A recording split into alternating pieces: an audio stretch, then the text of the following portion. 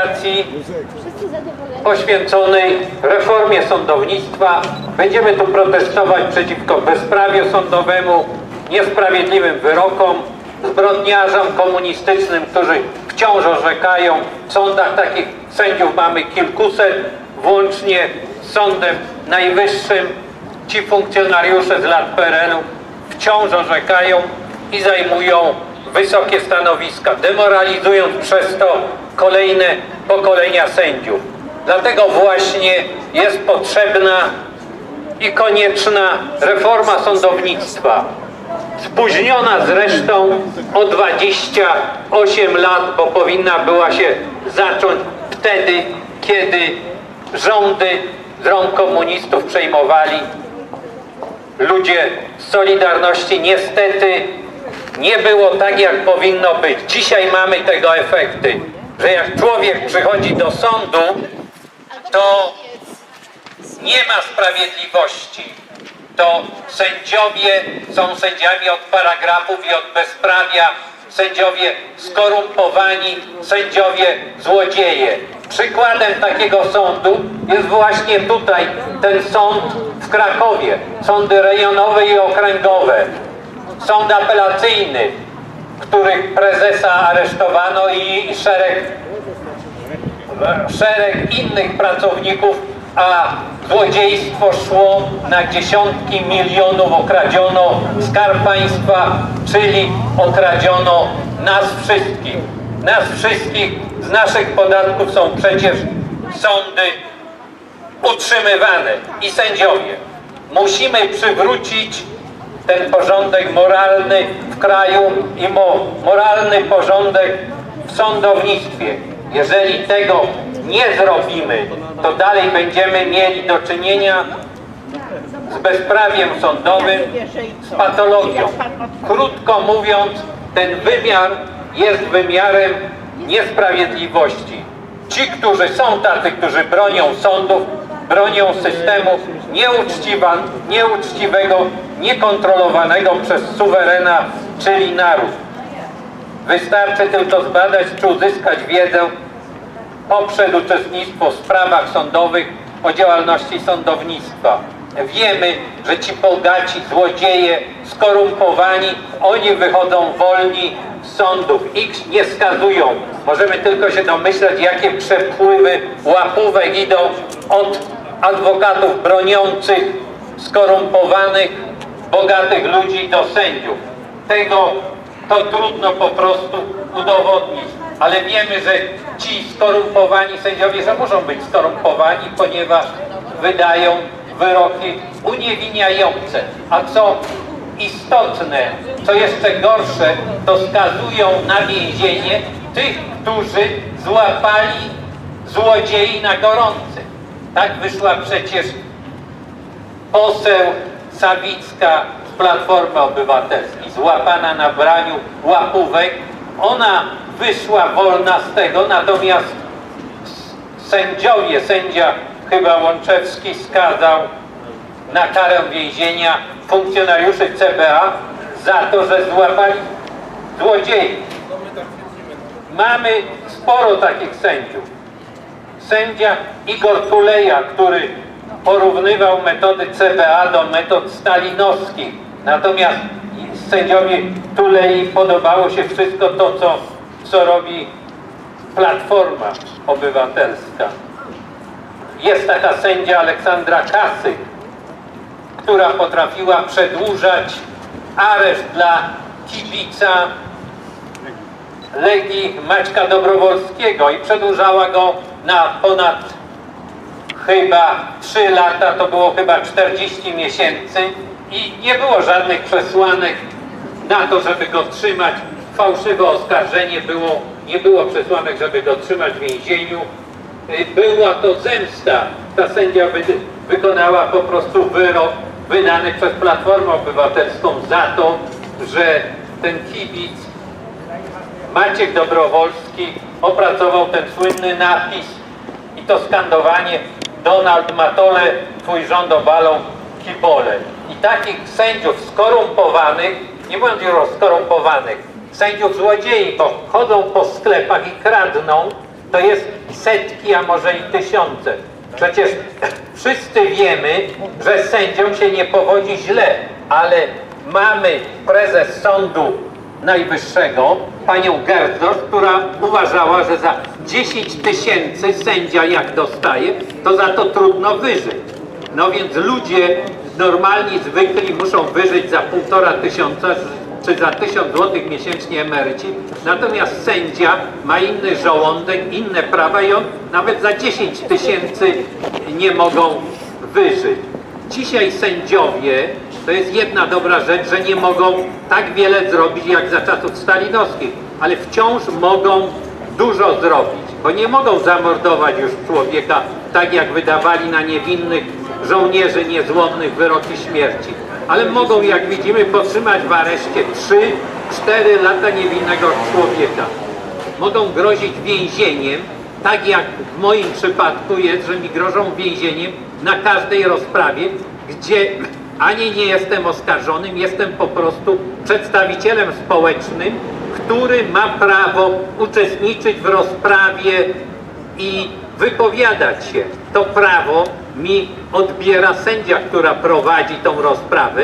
Jest taka sędzia, Małgorzata Rokosz, która orzeka w sądzie rejonowym dla Krakowa Śródmieścia. I ona po prostu stanowi swoje własne prawo, czyli te moje uprawnienia, które mi daje kodeks postępowania karnego, że mogę się wypowiadać w sądzie, mogę składać oświadczenia, mogę reprezentować stronę społeczną, tą stronę, która reprezentuje interes społeczeństwa. To pani Małgorzata Rokosz uważa, że nie mam żadnych praw, czyli kiedy chce się wypowiadać, mówi mi tak. No zaraz pana wyprowadzi policja, jak jedno słowo pan powie. Albo potrafi tak mówić. Głowa mnie boli, jestem zmęczona, nie mogę słuchać pana, albo proszę się streszczać. A kiedy pytam się, dlaczego moje wypowiedzi nie są protokołowane jak, jak prokuratora, to mówi, że to zbyteczne, że moich wypowiedzi się nie będzie wpisywać do protokołu. No takich mamy sędziów i gdyby to była tylko ta jedna pani Rokosz, to, ni, to zdarza się wszędzie, że ktoś taki się zdarzy. Ale co na skargi, co odpowiadają jej przełożeni? Czyli sędzia sądu rejonowego pani Anita Mansfeld, czy sędzia sądu prezes, bo tu mówię o prezesach, pani Anita Mansfeld, prezes sądu rejonowego i prezes sądu okręgowego, pani Beata Mrowie. Ano odpowiada tak, sędzia jest niezawisły, czyli jeżeli sędzia łamie prawo, jak tłumaczy, to sędzia może robić, bo sędzia jest niezawisły od prawa, sędzia może stanowić swoje prawo. No jak jej posyłam kolejne pismo, żeby mi to skonkretyzowała, na czym polega niezawisłość sędziowska, czy polega rzeczywiście na łamaniu prawa, to pani Anita Mansfeld, pani prezes Sądu Okręgowego odpowiada, ja to powiedziałam i nie ma znaczenia cokolwiek, co pan powie. Pani Małgorzata Rokosz jest wynalazcą też prawa na własny użytek, bo potrafi tworzyć to prawo. Na przykład mówi, sprawa jest tajna, w związku z tym nikt nie może robić notatek na, z rozprawy sądowej. Kiedy jej mówię, że przepis prawny mówi coś innego, to na to pytanie nie odpowiada w ogóle, uważa, utajniła zresztą rozprawę sprzecznie z konstytucją, czyli złamała konstytucję, bo ten typ rozpraw nigdy nie powinien być Pani Małgorzata utajniony. Rokosz nie złożyła jeszcze oświadczenia majątkowego. Bo ją chroni immunitet. Zapomniała. Za dużo ma do poprawy. Chciałem proszę Państwa przypomnieć, że jesteśmy przed sądem, którym sędzia Maczuga wystąpił w obronie funkcjonariuszy Służby Bezpieczeństwa, którzy napadli na nas, kiedy byliśmy na mszy świętej 3 maja w stanie wojennym tej w Krakowie. Ustalono tych wszystkich funkcjonariuszy SB i ZOMO, którzy na nas napadli, część zresztą naszych ludzi zatrzymali po wyjściu z mieszkań, żeby nie pójść na mszę świętą. Część napadli na zejściu z Wawelu kastetami, pałkami, pobili kilkaset osób. I ta grupa funkcjonariuszy Służby Bezpieczeństwa i ZOMO ponad 270 została ustalona i oczywiście należałoby ich ścigać. Ale znalazł się sędzia Maczuga, który powiedział nie nada, nie nada, nie można robić krzywdy towarzyszom ze Służby Bezpieczeństwa i no dopóki będziemy mieli takich sędziów tutaj w Krakowie, czy w ogóle w Polsce, mamy ich dużo, całą grupę, którzy mimo że zbrodnie komunistyczne, przypominam, nie ulegają przedawnieniu, wychodzą z założenia, że oczywiście nie można ścigać tych zbrodniarzy, no bo powiedzmy sobie szczerze, problem jest poważny, jeżeli by zaczęto ścigać wreszcie tych SB-ków, to za chwilę trzeba by ścigać i prokuratorów i sędziów. No to sobie trzeba powiedzieć, że oni bronią po prostu siebie. Mamy ponad 700 sędziów, ponad 2000 prokuratorów, zbrodniarzy komunistycznych. Oni dalej siedzą, orzekają, również w tym sądzie tutaj, który mamy za plecami. Poza tym demoralizują młodych. No bo młody myśli sobie, tamten jest bezkarny, wydawali wyroki śmierci. Przez ostatni wyrok śmierci wydali w 1986 roku. Nie wczoraj w latach stalinowskich, jak ludzie myślą. Wydawano masowo wyroki śmierci również przecież w stanie wojennym. Zaczęli od ambasadorów, tam Ruras, Pasowski, a no oczywiście Kukliński, także oni do końca towarzysze nie mieli oporów. Mamy do dzisiaj orzekających sędziów, którzy wydawali wyroki śmierci na patriotów. To się po prostu nie chce wierzyć. Mamy w Sądzie Najwyższym ponad 20 sędziów zbrodniarzy komunistycznych, stąd nasze miasteczko protestu w Warszawie uniewinnić Miernika za ten protest tortowy w sprawie Kiszczaka, bezkarności Jaruzelskiego i wsadzić do ciupy wreszcie sędziego Michnika. My mamy sędziego, który skazał 14, wielu ludzi, bo to sędziowie przecież wydali w sekcji tajnej sądów PRL, wydali około 10 tysięcy wyroków śmierci wykonanych, wy- wydali oczywiście znacznie więcej wyroków śmierci, ale wykonano prawie 10 tysięcy wyroków śmierci. I przecież ani jeden sędzia do dzisiaj i ani jeden prokurator nie poniósł odpowiedzialności za te mordy sądowe, proszę Państwa. Ani jeden. Przez 28 lat, już nie mówię, że część z nich orzeka dalej, ale tych emerytów przecież można by... Izrael bierze 99-letniego dziadka z Litwy, teraz samolotem przywieźli i s- i wsadzili go do więzienia i proces mu robią. I nie ma zmiłuj się. A u nas mamy nie tylko zbrodniarzy, ale mamy też złodziei, bo młody sędzia, młody prokurator myśli tak, jak tamten za mordy jest bezkarny, to ja tylko wezmę łapówkę. No i tu w krakowskich sądach mieliśmy ponad 10 lat sprawę ministra Lewandowskiego toczoną. Z mojego zawiadomienia, ja to złożyłem z posłami KPN-u, że on sprywatyzował zakłady po cenie niższej niż wartość towaru w magazynie. Znalazł się tu odważny prokurator w Krakowie, zrobili mu sprawę, no to ten się 10 lat zasłaniał immunitetem. I w końcu znaleźli się tutaj dyspozycyjni sędziowie w Krakowie, trzeba ustalić ich z nazwiska, którzy doprowadzili do tego, że nie został skazany. I, i zrobił karierę dzisiaj komisarzem Unii Europejskiej. To samo wąsacz. No przecież nie ma ani jednego aferzysty za złodziejstwa w tym kraju, za wielką złodziejską prywatyzację, teraz Gronkiewicz-Walc. Wszyscy bezkarni. Można kamienicę sprzedać, zakład sprzedać, za drogi nie zapłacić polskim wykonawcom. No przecież po prostu to jest standard, bezprawie. I dlatego protestujemy. I dlatego przychodzimy często pod sądy ze świecami i cieszymy się, że teraz młodzież do tego przyłączyła. Trzeba przychodzić ze świeczkami pod sądy. I trzeba palić ofiarą mordów sądowych ponad 10 tysięcy ludzi przecież, którzy przewinęli się, dostali wyroki śmierci i zostali zgładzeni. Tutaj na Montelupich również w Krakowie. Ksiądz Burgacz. No przecież tym ludziom trzeba tu palić świece, przypominać tej żuli, tutaj zorganizowanej grupie przestępczej w tych sądach, którzy chronią bandytów, zbrodniarzy, sędzia Maczuga na czele, czy sprawie Lewandowskiego. Trzeba im wszystkim przypominać. Ktoś musi być ich wyrzutem sumienia. Ktoś musi tu pokazywać, o co chodzi. I to jest nasze zadanie i z tego tutaj się wywiązujemy. To jest nasza powinność wobec naszych poprzedników, bo oni się już nie upomną, po prostu leżą w piachu gdzieś na łączce zakopani. Także my mamy powinność o to się upomnieć i dopóki ta sprawa nie zostanie załatwiona, o której mówię, to nie będziemy przerywać tych akcji. Przecież dopóki tu nie będzie elementarnego poczucia sprawiedliwości i przyzwoitości, no to to nie jest wymiar sprawiedliwości, to nie są sądy, to jest po prostu na razie kabaret, kpina.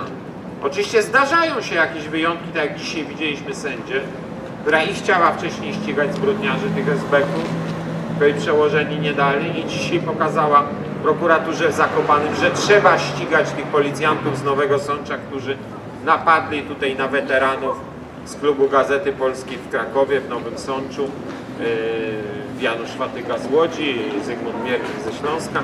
No przecież policja napadła na weteranów z całej Polski w obronie truchła sowieckiego, jakiegoś panteonu chwały armii okupacyjnej. No i bardzo dobrze, że się wreszcie taki sędzia znalazł. No ale zobaczcie ile lat trzeba było walczyć o taką prostą sprawę, oczywistą. I niby wszystkich uniewinnili, ale Zygmunta Miernika z powrotem ciągają do tych sądów. Zaś będziemy jeździć do tego nowego sądu. Proszę Państwa, no tyle lat w prostej sprawie. Ja nie mówię jakiejś zawiłej, o jakieś sprawy skomplikowane prawnie. Wiadomo, że w sprawie ruskich pomników wszystko jest oczywiste. Historia, system prawny, no wszystko jest oczywiste. I to dzisiaj powiedziała sędzina. Nie było żadnego powodu, żeby w ogóle policja tam przyjeżdżała pod ten pomnik. A już tym bardziej interweniowała. Bo to nie jest sklep, którego napadli chuligani. No bo wtedy oczywiście przyjeżdża policja i chroni sklep. To to jest symbol obcej okupacji. Przyszli ludzie, nic się tam nie stało takiego. Owszem, był zamęt, ale zamęt wywołała policja.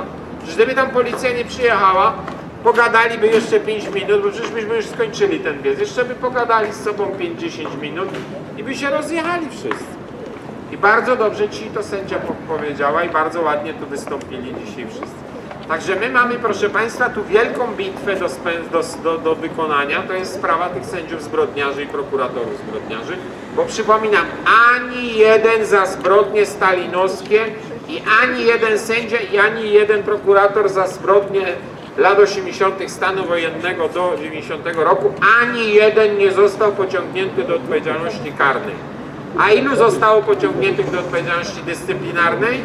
Jeden, jeden na 1300 sędziów. Jeden. Proszę Państwa, mamy wielką bitwę przed sobą. We wrześniu rozpoczynamy kampanię na rzecz uniewinnienia kolegi Wieczorka, tu obecnego dziennikarza. Brawa dla niego! Brawa Brawo! dla redaktora! Brawo! Brawo! Został skazany niedawno przez Krzywoprzysięski Sąd tu Krakowski za to, że upublicznił rozprawę. Rozprawę, która była przez wpierw rok jawna. Przychodziła telewizja Kraków, pluli na nas, opowiadali, że chcieliśmy wynająć gangsterów z gangu krakowiaka celem zabicia prezesa sądu Hejosza. Okazało się to wszystko lipą. Okazało się, że wszyscy, którzy takie zarzuty twierdzili, to byli tajni współpracownicy służb specjalnych, wszyscy karani wcześniej za składane fałszywych zeznań. Wszystko to się okazało kompletną lipą. Ale trwał ten proces za 4 lata. I odważny dziennikarz miał odwagę to nagrać i, i, i, i pokazać publicznie. I sędziowie są wściekli w Krakowie. Bo ludzie mieli odwagę żądać jawnej rozprawy i umieścili, proszę Państwa, jaka zbrodnia w internecie to umieścili. Co za straszny czyn. Jak to przerażające musi być tutaj dla tych sędziów w Krakowie, proszę Państwa. Jak się nazywa ten sędzia, co Cię skazał? Nawet nie pamiętam. Nie. Niegodny. No, trzeba go, nie, trzeba go teraz zrobić słynnym. Proszę Państwa, znalazł się tu sędzia, który skazał dziennikarza za to, że ujawnił prawdę. To ich przeraża. Wyobraźcie Wypych, sobie, nie? Wypych. jakich Sędzia się nazywał Wypych. Wypych. jakich mamy zdemoralizowanych łajdaków tutaj w Krakowie, że potrafią skazać dziennikarza za to, że chce ujawnić w internecie przebieg rozprawy. To jest, i to nie jest jakaś sprawa obyczajowa, ja rozumiem, są wyjątki, trzeba ukrywać sprawy jakieś obyczajowe czy tajemnice państwowe. Prosta sprawa. Gangsterzy namówieni przez prokuratora do składania fałszywych zeznań w zamian za obietnicę wyjazdu do Anglii, co się i stało, wszystkim tym gangsterom z gangu krakowiaka, którzy nas opluli, sędziowie dali przypadkiem w ciągu jednego miesiąca wszystkim tym gangsterom prze- przepustki w odbywaniu kary ze względu na leczenie. To nie byli byle jacy gangsterzy. Jeden z nich porwał 111 osób dla okupu, żebyście mieli świadomość, jacy to gangsterzy, nie jacyś tacy drobni. Sędziowie im dali przepustki i oni, słuchajcie, przypadkiem wzięli paszporty i wyjechali do Anglii. Przypadkiem, wyparowali. I tak zrobili sprawę, współdziałali w tym prokuratorzy z Katowic, sędziowie Sądu Rejonowego i Sądu Okręgowego, współdziałali w tym tutaj sędziowie Sądu Okręgowego w Krakowie, ręczka rączkę myje i dopiero jak to się ujawniło w mediach, no to wycofali się z tego, no bo to się okazało kompromitujące. Ale cztery lata nas opluwali, że my z gangsterami z gangu krakowiaka chcieliśmy zabić prezesa sądu Ejoszy. No takie, proszę Państwa, kpiny w tym kraju. Taki poziom moralny intelektualny oni sobą reprezentują. I dzisiaj są tak wściekli, że to mleko się rozlało i i się im ta prowokacja nie udała, że potrafią jeszcze dziennikarza z zemsty skazać za to, że to nagłośnił. I my teraz musimy rozpocząć protest i myślę, że dzisiaj już ten wiec, tak możemy, że się nazywa, uniewinnić wieczorka, zamknąć Michnika. No proszę Państwa, trzeba czy zamknąć maczugę tego sędziego. Tu Trzeba zamknąć sędziego maczugę. przecież. Albo Przemysława Wypycha. Albo wypycha, albo. Miłośnika muzyki. Proszę Tak. Państwa, sędzia, który skazał naszego dziennikarza, nazywa się Przemysław Wypych, jest wielkim miłośnikiem muzyki. No puść mu coś, puść mu tam, trzeba zdrajców wyganiać. Masz taki kawałek. Musi wolność się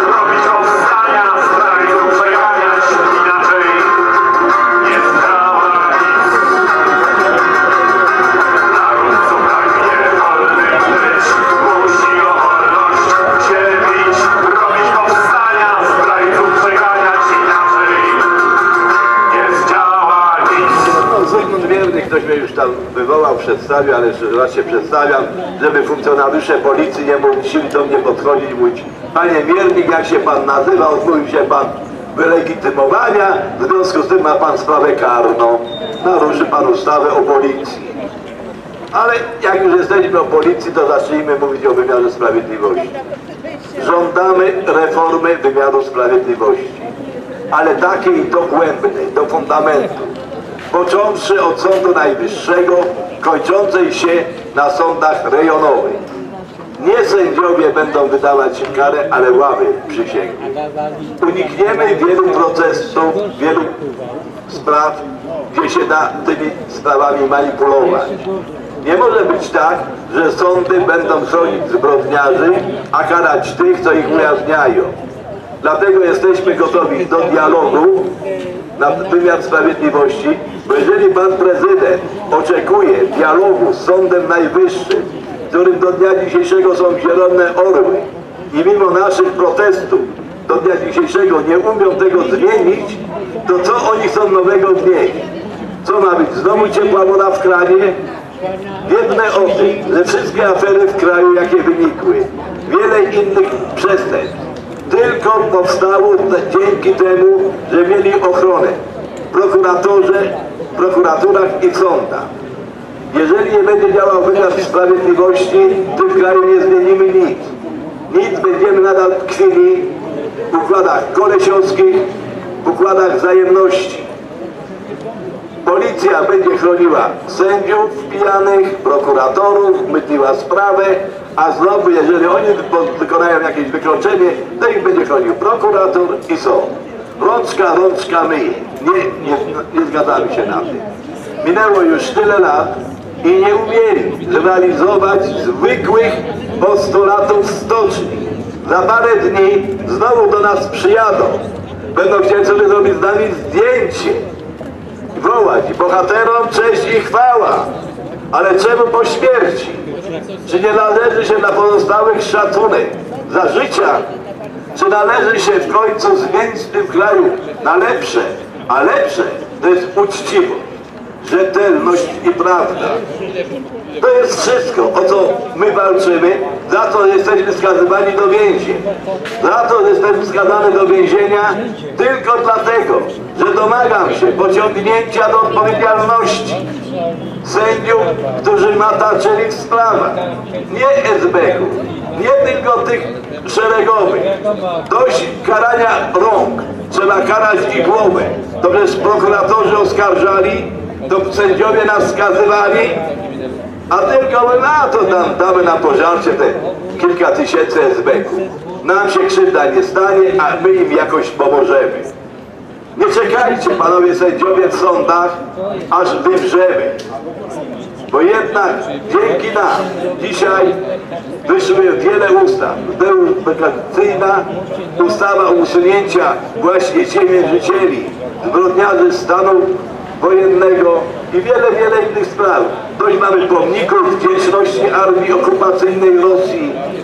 Przecież to tak jak dzikie zwierzę sobie znaczy terytorium, tak właśnie ci stalinowscy, co szli i okupowali Polskę od 44 roku od Lublina, bo to nastąpiła zmiana okupacji.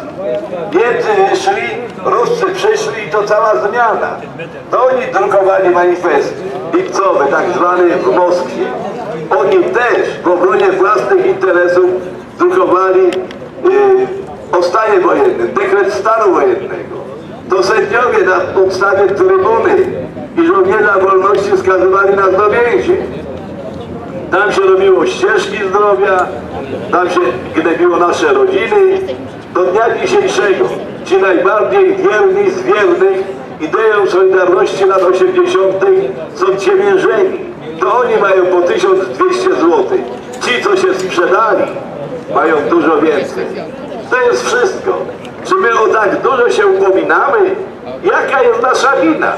Że kochamy naszą ojczyznę, że żądamy uczciwości, sprawiedliwości, no faktycznie, że ujawniamy taką sędzię wielkolecką, która skutecznie chroniła Kiszczaka. I jedyny jej zarzut do mnie, że podobno jej zniszczyłem garsonkę za 2700 zł. To była przestępstwo, to był bandyty. A drugi sędzia mi podniósł wyrok tylko dlatego, że śmiałem się pracy, że został zweryfikowany. Bo chcę wiedzieć, kto nad stołem siedzi sądo, sądowym. Człowiek czy świnia? Okazało się, że siedziały dwie wielkie świnie. Jeden spuścizna dziadziusia, który wydawał wyrok śmierci, a drugi brat pedofila i on też, y, który miał y, zdjęcia e, nieletnich dzieci, ale sędziego nie można było ukarać. Jego wymiksowano te sprawy. No więc słuchajcie Państwo, no faktycznie, ujawniać zbrodniarzy, ujawniać świństwa, to jest przestępstwo. Dzisiaj się kara dziennikarzy, dzisiaj się kara tych, co nagrali naszych polityków, a nie winnych. Dość tego. Prawo ma być równe dla tego i dla wszystkich. My nie czujemy się winni. Dziękuję. Przesłanie pana Zbigniew Herbert. Idź dokąd poszli tamci, do ciemnego kresu, bo złote runo nicości twoją ostatnią nagrodę. Idź wyprostowany, wśród tych, co na kolanach, wśród odwróconych plecami i uwalonych w proch. Ocalałeś nie po to, aby żyć. Masz mało czasu, trzeba dać świadectwo. Bądź odważny, gdy rozum zawodzi. Bądź odważny. W ostatecznym rachunku jedynie to się liczy.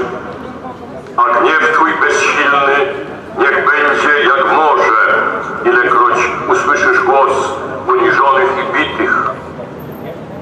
Niech nie opuszcza Ciebie Twoja siostra pogarda, na szpicków, katów, tchórzy.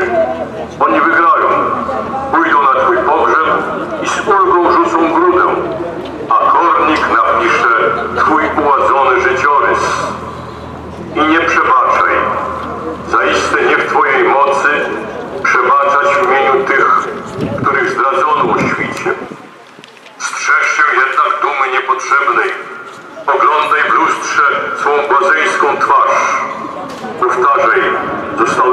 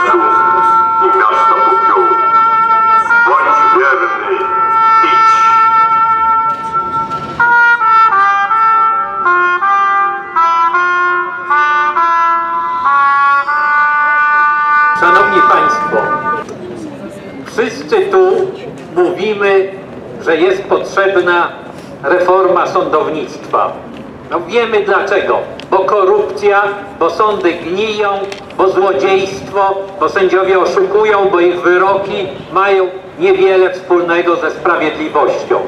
I w jaki sposób te sądy zreformować? Najprostsze wydaje się i najpewniejsze to to, aby nastąpił udział społeczeństwa we wszystkich rozprawach. Zresztą w jakimś stopniu to gwarantuje Konstytucja w artykule 182, która mówi o udziale obywateli wymiarze sprawiedliwości. No a jak mogą obywatele uczestniczyć w wymiarze sprawiedliwości? No w prosty sposób. W każdej rozprawie, czy to w sprawach karnych, czy w sprawach o wykroczenia, czy w jakichś innych sprawach, powinni brać udział obywatele. Powinni mieć to zagwarantowane ustawą, która daje im to prawo uczestniczenia w każdej rozprawie. Bo sam udział obywateli w wymiarze sprawiedliwości gwarantuje już Konstytucja. Potrzebna jest tylko do tego ustawa. Czyli obywatele powinni być dopuszczeni do wszystkich rozpraw, które są jawnych czy tajnych. Obywatele w formie albo ławników, albo przedstawicieli społecznych. To oni będą gwarantować, że te wszystkie rozprawy są sprawiedliwe, są uczciwe. Sędziom każdy musi, musi być, muszą być tacy, którzy będą im patrzeć na rękę to, na ręce. To tylko gwarantuje udział czynnika społecznego czy udział obywateli. Może, mogą być to dwie formy. Wiemy jak to wygląda w Stanach Zjednoczonych. Po prostu są ławy przysięgłych, sędziowie przysięgli i to nie sędzia orzeka o winie lub niewinności sądzonych osób. Nie sędzia, bo to jest zbyt poważne zadanie, żeby przydzielić go sędziemu. To sędziowie przysięgli, to ława przysięgłych w Stanach Zjednoczonych decyduje o tym, kto, je, kto jest winny, czy sądzeni są winni czy niewinni. Tylko taki werdykt, a dopiero następnym ogniwem w tym procesie wymiaru sprawiedliwości jest sędzia, który w zależności od werdyktu ławy przysięgłych decyduje na podstawie prawa, przepisów prawa karnego czy jakiegoś innego, jaki ma być wyrok, ile za te występki, czy przestępstwa, czy te zbrodnie, jaki wyrok ma otrzymać ten skazany werdyktem ławy przysięgłych. I to by było bardzo dobre, gdyby ta reforma, która ma być, gdyby to uwzględniła. Bo niekoniecznie to muszą być sędziowie przysięgli. Z tym, że to by było najlepsze rozwiązanie. Ale tak jak mówię, mogą to być ławnicy albo przedstawiciele społeczni, ale oni muszą mieć pełnię praw, taką samą, jak ma prokurator czy adwokat, bo inaczej ich udział jest tylko iluzoryczny. To się tylko by mówiło, że oni uczestniczą w tym procesie wymierzania kary. Do tej ławnicy w PRL-u mają praktycznie żaden głos. Oni po prostu są i, i tak jak im się mówi, no mają popierać to, co powiedział sędzia. Ja akurat znam kilku ławników, którzy orzekają, którzy są sędziami. I oni mi mówią tak, no ja muszę poprzeć sędziego to, co sędzia mówi, bo inaczej ten sędzia mnie nie przydzieli do kolejnych ławników, którzy będą razem z nim orzekać na rozprawach. A przeważnie wielu z nich jest emerytami, mają niewiele pieniędzy, więc to jest taki dodatek. To mówi, to po co mam się wychylać i narażać i mnie już nie przydzielą do ławy przysięgłych? Patrzę się, co sędzia robi. No i jak sędzia y, mówi, że wyrok wysoki, to ja mówię tak, a jak sędzia powie nie, to ja mówię y, to też nie. To samo co sędzia, więc żeby to nie była tylko fikcja, bo to jest fikcja w tej chwili to, co robią ławnicy i do takiej, ja na przykład jestem przedstawicielem społecznym w ważnym procesie, bo prokurator skarży o zniesławienie dwóch weteranów walk o niepodległą Polskę. No i sędzia stara się mnie sprowadzić do takiego figuranta, do moje istnienie do fikcji, bo ja mam prawo zg- zgodnie z kodeksem postępowania karnego do wypowiadania się. Ona mi mówi, ja nie mam czasu, żeby pana słuchać. Na następnej rozprawie będzie się pan wypowiadał. Na następnej rozprawie mówi, nie mam czasu. Może na następnej będzie. A jak?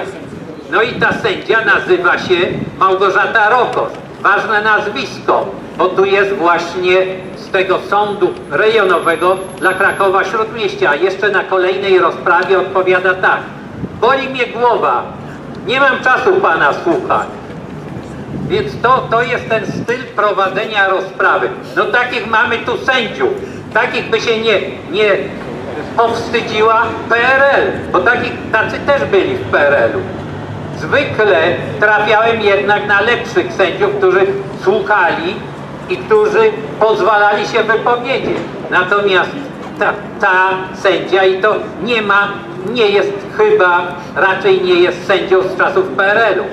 A tak, tak prowadzi rozprawę, jakby dzień wcześniej wyszła z elit sędziowskich PRL-owskich. A co odpowiadają jej przełożeni? Co odpowiada prezes sądu rejonowego, pani prezes, Anita Mansfeld? No Anita Mansfeld do mnie mówi, no jest niezawisłość sędziowska, to sędzia może robić to, co chce. A jak się pytam, czy jest niezawisła od prawa, od prawa ta sędzia, to ona mówi, odpisuje mi jednym zdaniem. Ja już panu odpowiedziałam i nic panu więcej nie powiem. No więc tak, jeżeli tak sądy będą dalej procedować, tak działać, to żadnej sprawiedliwości nikt nie otrzyma. Tylko bezprawie, bo ci sędziowie działają tak, jakby byli sędziami od paragrafów. Paragrafy to potrafią wymienić, bo otworzą sobie książkę, ale żeby wydawali sprawiedliwe wyroki, to to już jest dla nich za trudne. No wydają wyroki takie, skąd wyszli. Czyli wyszli z komuny i wyroki, większość z nich wydaje tak, jak za komuny wydaje. Bo nic innego nie potrafią, bo się uczyli widocznie od tych skomunizowanych, od tych komunistycznych. To sami stali się skomunizowani i tak orzekają. Broń nas, Panie Boże, od takich sędziów, jakich mamy. Ta ustawa musi tych sędziów wyeliminować. Musimy zwolnić, musi być ustawa, która zwolni wszystkich sędziów i dopiero będziemy przyjmować takich, którzy dają gwarancję sprawiedliwości i gwarancję uczciwości. I ławy przysięgłych, bo bez kontroli społeczeństwa każdy znowu będzie patologia, znowu będzie korupcja. Czyli jedyną gwarancją uczciwości i sprawiedliwości jest udział społeczeństwa, ławy przysięgłych. Ktoś musi tym sędziom stale patrzeć na rękę i politycy tego nie załatwią. To muszą być ustawy i ławy przysięgłych. Ludzie, obywatele muszą patrzeć na ręce sędziom i to oni sprawią, że sądy będą sprawiedliwe, że nie będziemy musieli się bać, czy dostaniemy jakiegoś sędziego z piekła rodem. Proszę Państwa, Pani Małgorzata Rokosz nie złożyła jeszcze oświadczenia majątkowego. Do 30 czerwca miała złożyć. Pani Rokosz, złożyć oświadczenie majątkowe. Niech się nie smucą świnie w Czasławiu. Trzeba pieniądze wyprowadzić za granicę. Nie no, pani, Czaso, pani Rokosz pochodzi z Czasławia. Tam jest takie zoo.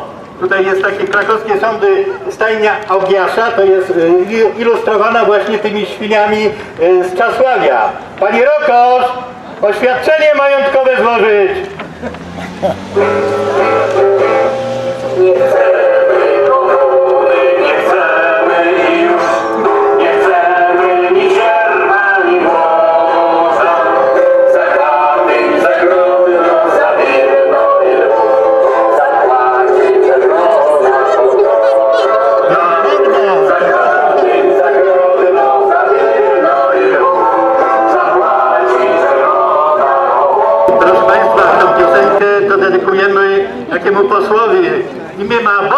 A jest Budka. W związku z jego donosami y, swabą na Polskę.